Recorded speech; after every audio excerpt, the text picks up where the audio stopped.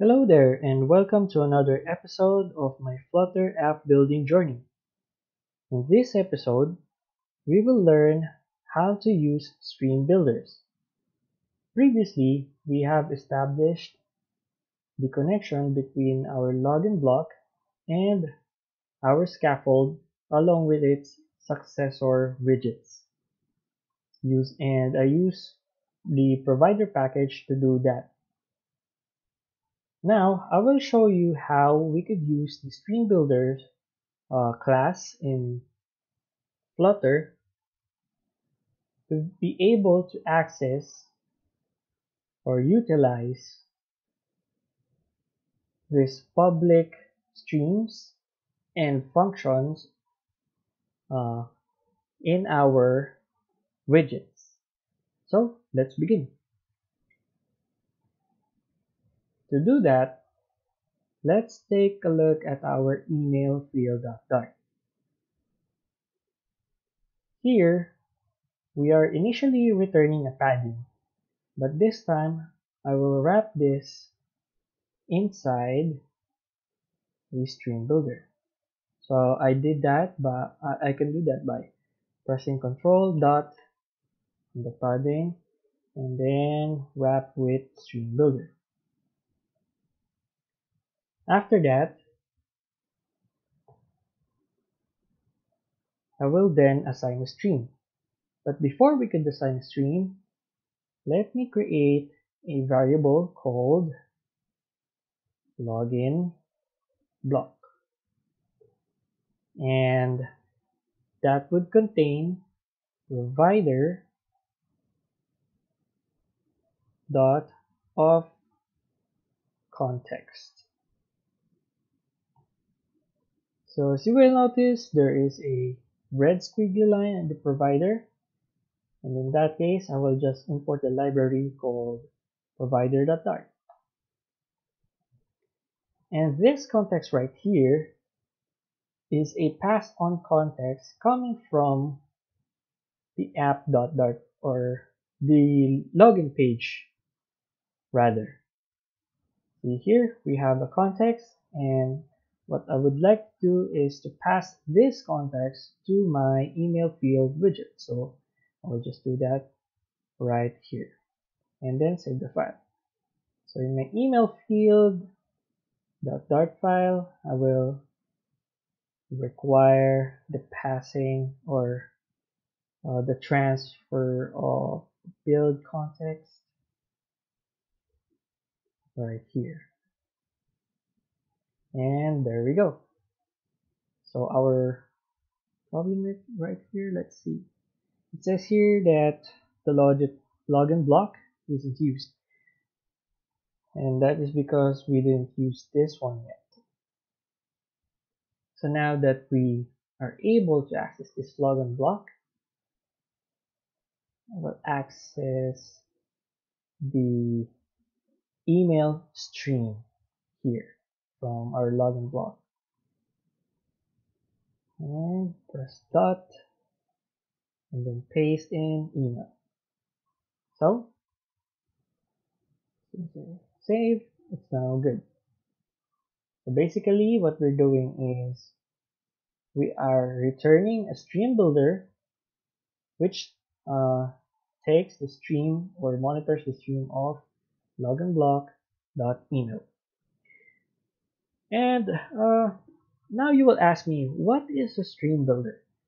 A stream builder, looking at the documentation, is a widget that builds itself based on the latest snapshot of interaction with the stream.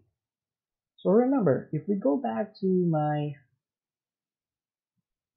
login BLoC right here and login validator filter. So basically what we want to happen is we want to monitor if our text field, let's say this email text field, will contain this at symbol or dot com. Or uh, sorry about that. If our email text field contains the at symbol and dot com string So to do that, if we go back to the login BLoC.dart file, we monitor the changes uh, in our fields by adding each character to the sink right here. So that's the purpose of the sink.add and this string. So basically what is happening is that as soon as we type a couple of letters right here, let's say, let's try to test this out. Okay. Let's say email. Okay, so it's not yet uh, full working. But let me try. Yeah, it's not yet. Okay, so the reason for that is we lack a couple of items in our code uh, to enable such monitoring. So to do that, uh, let's monitor for changes first. So let's add an on change prop property inside our uh, sorry about that it's not it should not be in the login page but rather in the email field the dart file so inside our text field we will add an on change property and that on change property uh, we will go back to our login BLoC and copy the email changes to monitor any changes in the email field. And any changes in the email field will then be added to the stream. And we will also add an error text inside our input decoration. And this input text, or uh, error text rather, will be coming from the snapshot dot error. Like so. So let me do a hot restart of this application and then let's try to test this out. So in the email field I will try to type in Gerald and immediately you will notice that there is an error message saying that uh, I should enter a valid email. And in order to uh, track that this is a valid email or in and to, in order for the system to tell us that what we're typing is a valid email uh, I should uh, have an at symbol and a string of dot .com. So let's do that. At gmail.com and there you have it. The error the error message is gone. So seems that our validation is working as well. Uh, so let's do the same thing now with our password field so I will just copy this final login BLoC. And then I will go to my password field at paste it right here. I will import the provider.dart and then I will pass in build context. Name context. And of course our login underscore page will again require context. I'll just say this. Let's go back to the password field. So again instead of returning a padding I will wrap this padding inside a stream builder. And okay I will get the password stream and place it right here. Again this password stream is coming from my login underscore BLoC file. Right here. Okay so this particular stream right here. So after that I will then assign an error text inside my input decoration and that error text will be coming from my snapshot.error. This will only be triggered if the condition inside my validation or login validation is not met. As you can see, the password should be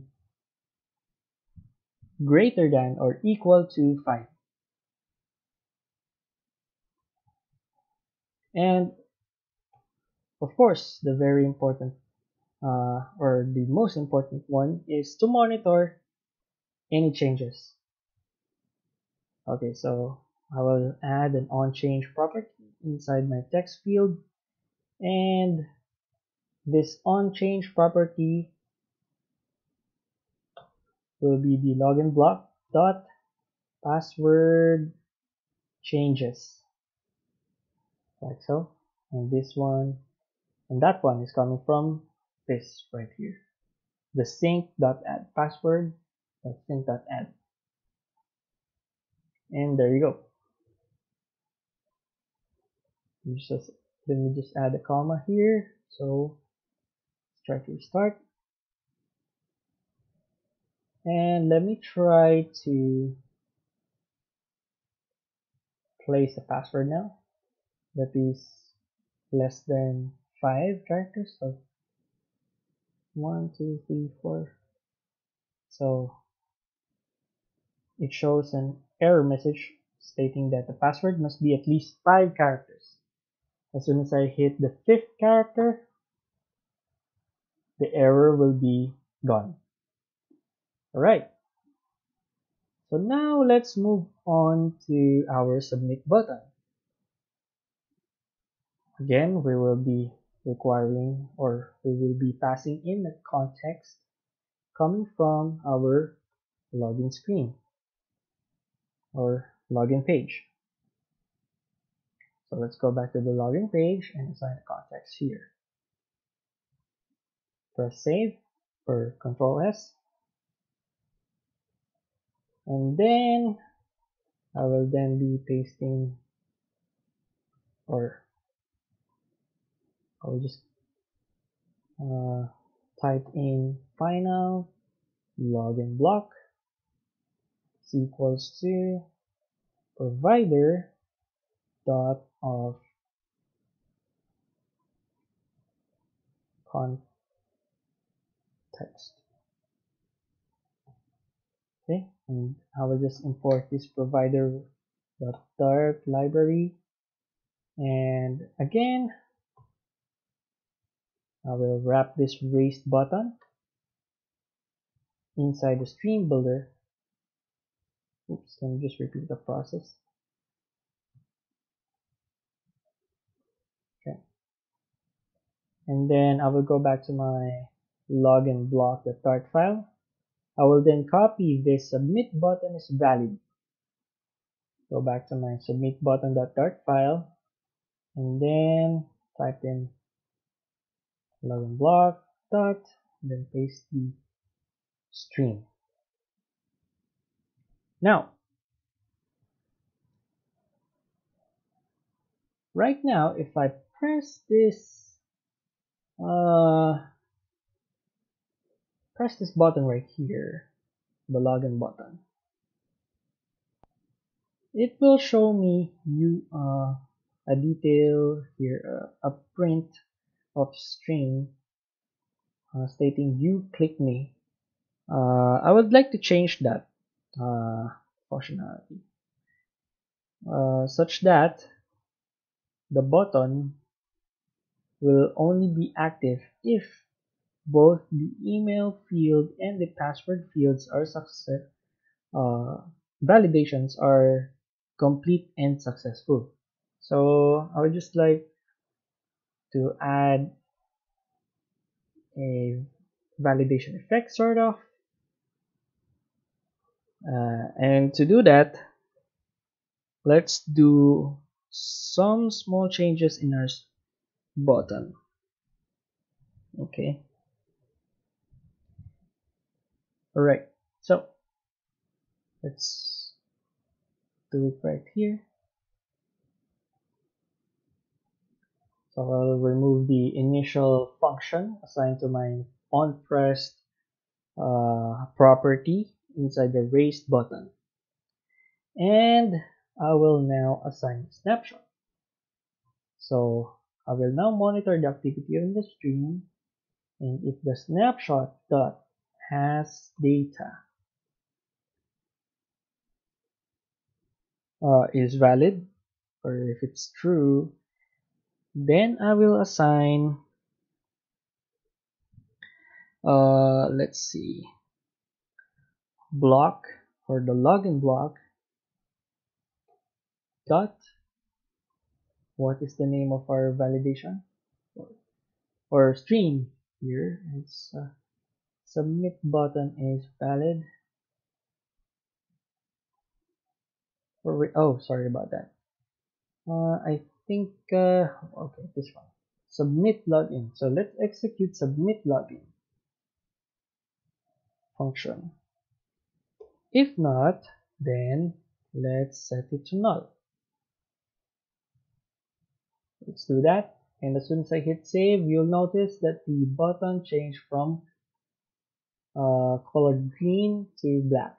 I would like to inverse the color set right here. So say the disabled color should be white and the disabled text color should be black. Like so. So I think we're through with it. So let's try to test if this button will turn to green if both of the validations are successful in both text fields so let's try to do that. Jeril at gmail.com and uh, let's type in the password. Let's say one two three four five. Great. So our login button changed its color as soon as both of the validations are successful. Let me try to click this. And looking at the debug console at the bottom you will notice that the email is showing jeril at gmail.com and password of 123445 great. So uh, just a quick recap. We are able to uh, finally somehow finish this uh, simple application I showed you how to use the stream builders in order to monitor the streams uh, snapshots and we were able to utilize the snapshots in our builder. Okay? Also we were able to access the public functions and streams from our login BLoC by first instantiating or making a link between the BLoC and the scaffold in our app.dart file. And then in our widgets we just uh, passed in the context the build context right here from the login page.dart and then we utilize that context for us to access the login BLoC.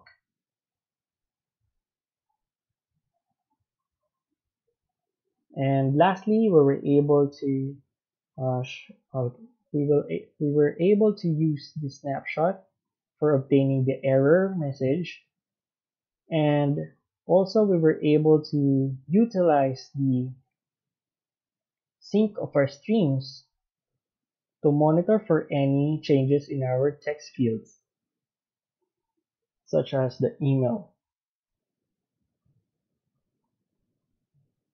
And that's it. So give a thumbs up if you like this video and don't forget to subscribe to see more videos about Flutter development. Uh, my name is Jeryl again and see you on the next episode. Thank you for watching.